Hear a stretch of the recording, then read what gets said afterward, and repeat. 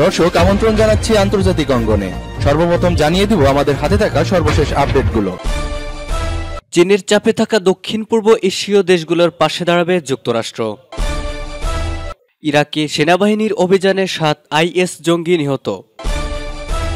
এদিকে লেবাননে বিক্ষোভে সংঘর্ষ সেনা সদস্যসহ আহত দুশত ছাব্বিশ।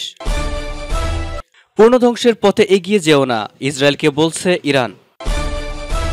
এদিকে রয়েছে ইন্দোনেশিয়াতে তেলবাহী জাহাজ আটকের ঘটনায় উদ্বেগ প্রকাশ করল চীন। ইরানের পরমাণু সমঝোতা সম্পর্কে নয়া মার্কিন পররাষ্ট্রমন্ত্রীর উক্তি।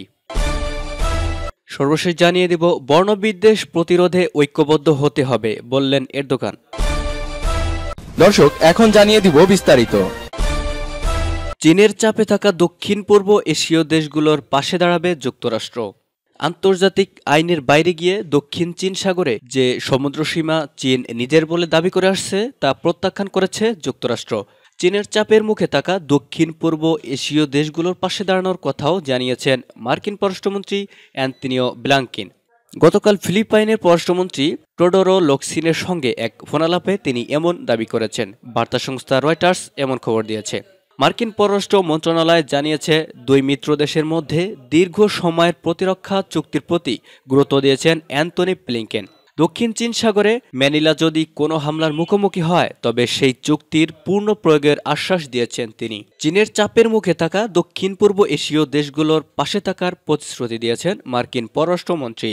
বিবৃতিতে মার্কিন পররাষ্ট্র মন্ত্রণালয় জানায়, দুই দেশের নিরাপত্তার জন্য পারস্পরিক প্রতিরক্ষা চুক্তির প্রতি জোর দিয়েছেন ব্লিংকেন। প্রশান্ত মহাসাগরীয় অঞ্চলে ফিলিপাইনের সশস্ত্র বাহিনী নৌযান ও বিমান হামলার শিকার হলে জবাবে এই চুক্তির বাস্তবায়ন করা হবে। এর আগে বিদেশি নৌযানে প্রকাশ্যে গুলি করার অনুমোদন দিয়ে চীনে একটি আইন পাশের কূটনৈতিক প্রতিবাদ জানিয়েছেন টোডোরো লোকসিন। এই আইনকে তিনি যুদ্ধের হুমকি হিসেবে আখ্যায়িত করেছেন।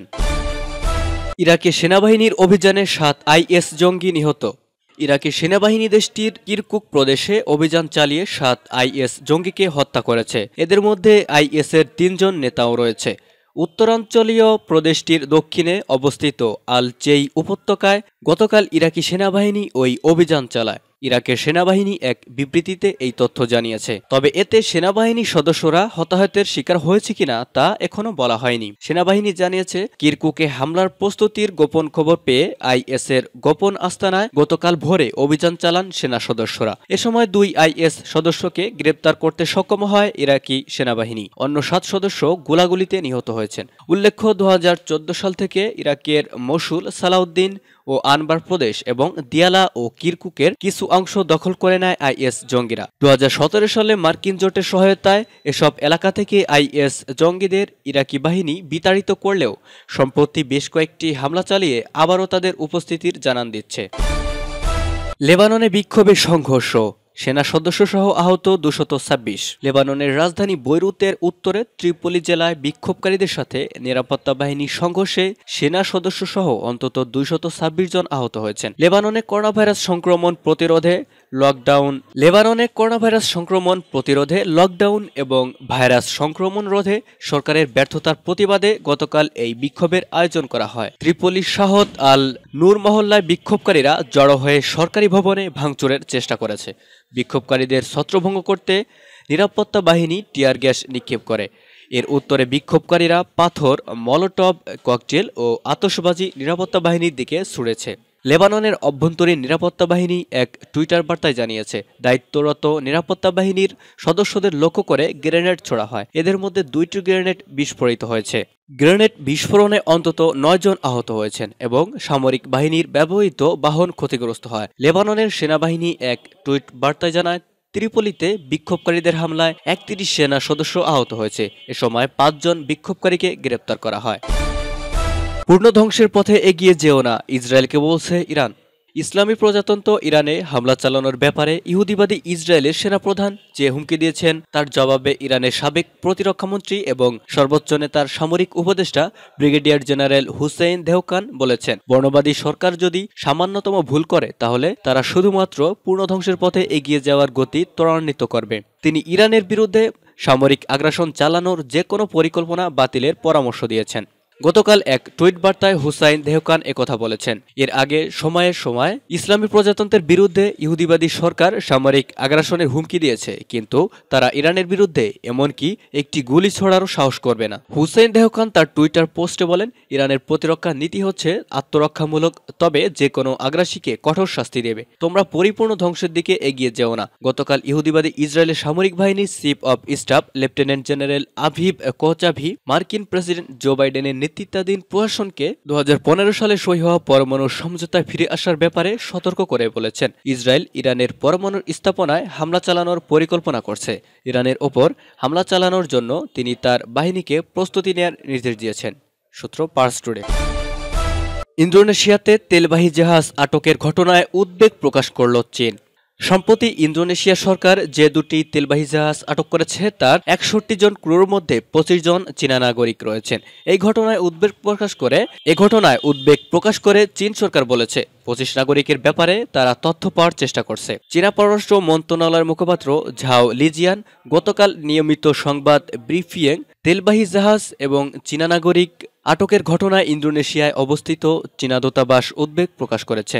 চীনা নাগরিকের ব্যাপারে আনুষ্ঠানিকভাবে প্রকৃত অবস্থা জানার চেষ্টা করছে বেইজিং। চীনা ক্রুদের ব্যাপারে স্বচ্ছতার সাথে আইন অনুসারে তদন্ত করার আহ্বান জানান ঝাও লিজিয়ান। গত রোববার ইন্দোনেশিয়া সরকার জানিয়েছিল যে তারা ইরান এবং পানামার দুটি তেল ট্যাঙ্কার আটক করেছে। জাহাজ দুটি ইন্দোনেশিয়ার পানিসীমা ব্যবহার করে বেআইনিভাবে তেল স্থানান্তর করেছিল। আটক দুটি জাহাজের মধ্যে একটি হচ্ছে এমটি হর্স, যা ইরানের জাতীয় তেল ট্যাঙ্কার কোম্পানির মাধ্যমিক পরিচালিত হয়, এবং অন্যটি এমটি ফ্রাইয়া, যা সাংহাই ফিউচার শিপ ম্যানেজমেন্ট কোম্পানির মাধ্যমে পরিচালিত হয়ে আসছিল। এদিকে ইন্দোনেশিয়ার সরকারি কর্মকর্তারা দাবি করেছেন, এমটি হর্স থেকে তেল নেওয়ার সময় এমটি ফ্রাইয়া সাগরে তেল ছড়িয়ে ফেলে এবং এই কারণে তাদেরকে আটক করা হয়েছে। সোমবার ইরান বলেছে, টেকনিক্যাল ইস্যুতে ইরানি জাহাজ আটক করা হয়েছে। এছাড়াও ইন্দোনেশিয়ার পররাষ্ট্র মন্ত্রণালয়, ইরান ও চীনের সাথে প্রাথমিক যোগাযোগ শুরু করেছে। তদন্ত ফলাফলের ওপর ভিত্তি করে পরবর্তী আলোচনা অনুষ্ঠিত হবে, সূত্র পার্স টুডে। ইরানের পরমাণু সমঝোতা সম্পর্কে নয়া মার্কিন পররাষ্ট্রমন্ত্রীর উক্তি।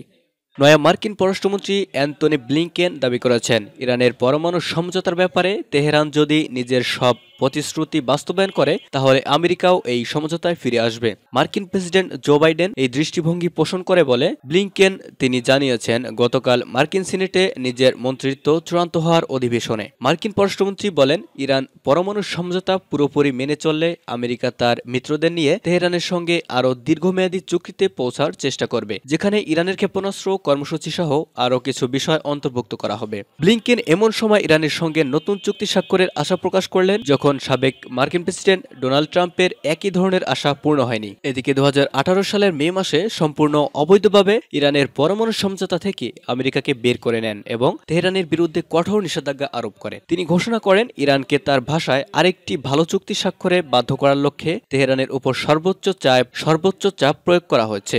নিজের চার বছরের শাসনামলে সর্বোচ্চ চাপ প্রয়োগ করা সত্ত্বেও ইরানকে কথিত ভালো চুক্তি স্বাক্ষরে বাধ্য করতে না পারার কষ্ট বুকে চেপে সম্প্রতি বিদায় নিয়েছেন ট্রাম্প। সূত্র পার্স টুডে বর্ণবিদ্বেষ প্রতিরোধে ঐক্যবদ্ধ হতে হবে, বললেন এরদোগান।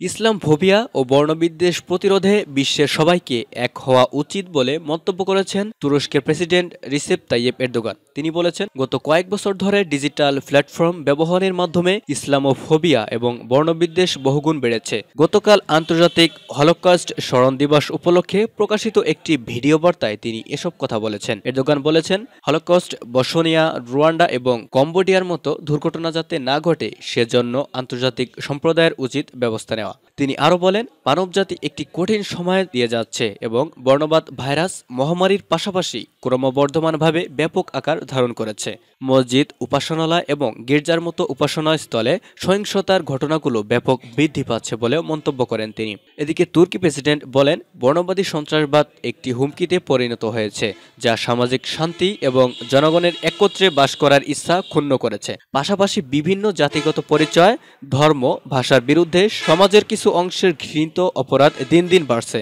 সূত্র আনাদলু এজেন্সি। আজকের মতো এখানেই শেষ করছি। সবার আগে সর্বশেষ সংবাদ জানতে আমাদের চ্যানেলটি এখনই সাবস্ক্রাইব করে রাখুন। ধন্যবাদ এতক্ষণ সাথে থাকার জন্য।